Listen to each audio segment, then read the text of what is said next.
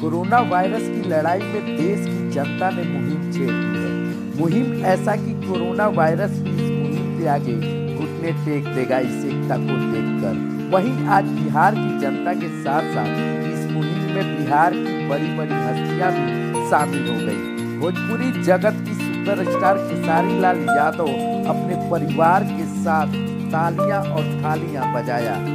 और डॉक्टरों और वीर योद्धाएँ जो कोरोना वायरस के जंग में डट कर खड़े हैं, उनका सम्मान और हौसला भी बढ़ाया।